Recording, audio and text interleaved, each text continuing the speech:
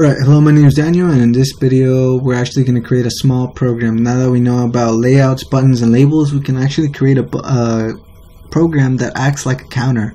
It'll have two buttons and one label. So the button will either increment or decrement the value that's inside the label, and that should act like a small little um, counter program. Alright, let's get started. So I'm just going to erase all of this just to start from scratch again everything else should be kept the same. I mean, yeah, pretty much, yeah, just keep it the same. Now, if you want, you, let's just change the title to, um, um, I don't know, my counter, counter program. Yeah, it's good enough. So the box. So remember, um, to create a box, we do gtk dot box, and then like that. Nope, just like that. So GTK box equals new GTK box and inside it accepts two things the orientation orientation. It can either be vertical or horizontal. For this case I want it vertical. Oops vertical and also the spacing. So I want it to be zero. Alright next after that we're going to create two buttons. So GTK that button and let's just call it a plus. And it's going to accept it's going to take in a plus the little plus sign. And remember we have to do with the label. And this is going to be minus and minus here as well.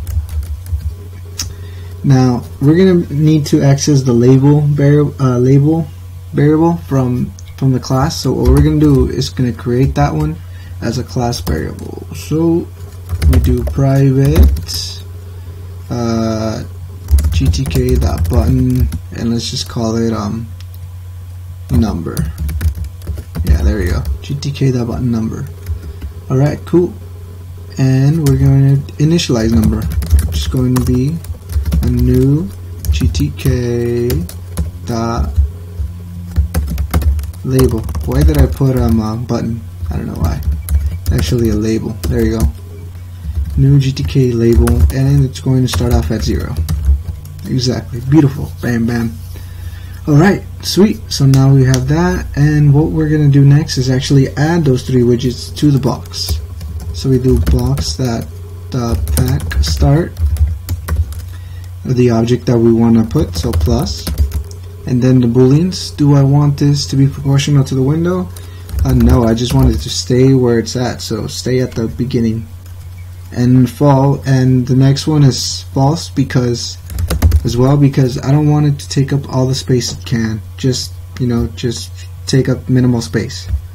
And then the padding which is also zero. I don't want any padding. Oops um, alright, the next one is going to be the label. So I want the label. Oh, we named the label number. And I want it to be, yes, proportional to the window. And yes, take up all the space it can. And zero for the padding. Now next is going to be, we're going to do um, the minus button. But I want the minus button to always be at the bottom, so I do pack end. So that's how you do it minus and then the same as the plus, false, false, and zero. Alright, sweet. Now we have everything inside the box widget. Now all that's left to do is to add it to the window itself. So this dot add box. Sweet. That should that should be it. So let's go run it. And if I do Vala uh, package equals gtk plus minus 3.0 um, and then simple Vala. It should run. Come on come on come on. There you go. So no matter if oh, how I expand it this button should always be at the top and the minus should always be at the bottom. And this guy right here should take up whatever it can. So let me see if I stretch it out. Bam what I tell you. Plus right here minus right here. Label takes up everything now, as you can see, it doesn't do anything because we haven't told it to do anything. So let's go do that.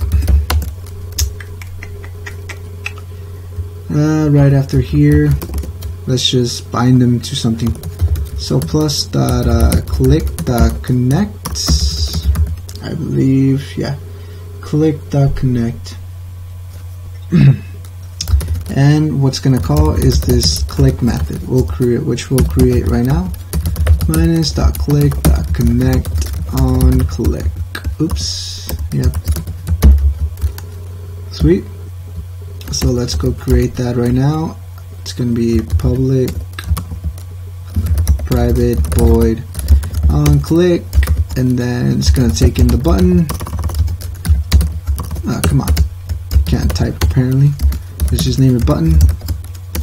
And then what it will what we'll do in here is basically parse the label and then check what button was pressed whether plus or minus and then increment the label and yeah just reset reset the value of the label. That's basically it. And how we do that is we create a variable in num to hold the number and then we parse what's inside of the label. So basically uh, well we named the number. So number dot get label just like that. So now we have the label. And then we right here we're going to check if we're supposed to subtract or add. So button dot get label right here. So if it was plus oops it equals uh, plus. So if it was plus we're going to do num plus equals 1 else we're going to do num minus 1 simple as that. So yeah we just narrowed it down to one line instead of doing like four lines so yeah that's pretty handy for doing simple things like this. And then last but not least we just set the new value. Number dot label equals um, uh, what is it? Num dot to string. Yeah that should work. Now if we go and run it and whether plus plus look at that increment.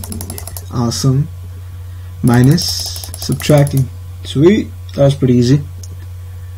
Now one interesting thing to do that you can might try to do is basically as the window increases so does the font the text the label increases.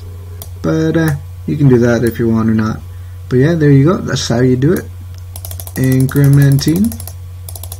And the opposite. Sweet. Well yeah that's it alright oh man I wasted seven minutes. Eh, okay. Alright see you guys